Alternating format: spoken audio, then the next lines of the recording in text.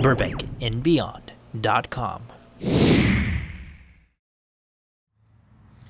Good afternoon. My name is Dick Dornan, sports producer for BurbankandBeyond.com. We are here today at George Izay Park to reminisce about an historical venue that no longer is here, but once was Olive Memorial Stadium, a venue that provided fans with many thrills.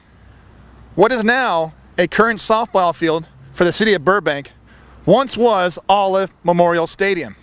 Built in 1947 for $64,000, this venue, which is no longer here, played host for four spring training seasons for the St. Louis Browns of the American League. The St. Louis Browns were managed by Rogers Hornsby, maybe the greatest right-handed hitter in its era. In 1952, right here on this third base side of this great stadium, Roger Hornsby led the Browns, where many fans, citizens of Burbank, enjoyed great baseball. Olive Memorial Stadium had a seating capacity of 1,100 people. Sometimes this place drew over 2,500 fans. Celebrities such as Bob Hope, Bing Crosby, Andy Devine, and yes, even Marilyn Monroe were here to watch the Brownies play. First in shoes, first in booze, and last in the American League was an expression synonymous with the St. Louis Browns.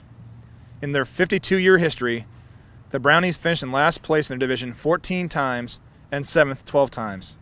But what made them proud was the city of Burbank. From 1949 through 1952, the St. Louis Browns called this home for spring training. Many great pitchers played on this diamond to the great oohs and ahs of the crowd. I'm currently standing on the practice facility of a softball mound. But back here is where the actual pitching mound was back in 1949. Some of the greatest pitching legends played here at Olive Memorial Stadium.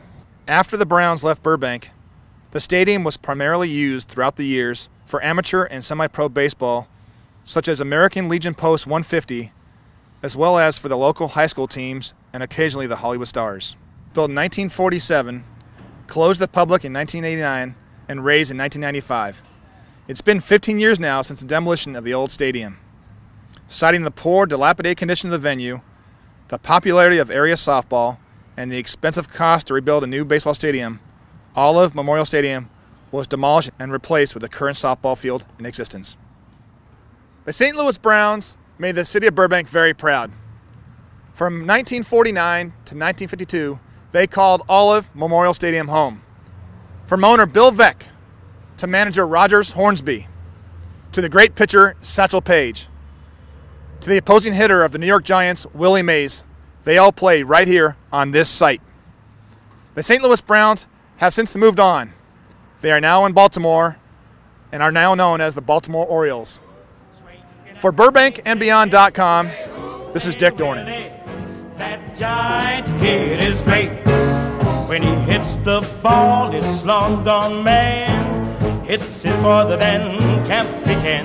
Swings the bats like a little lead pipe. When they reach the ball, it's overripe. Say hey, say who? Say Willie.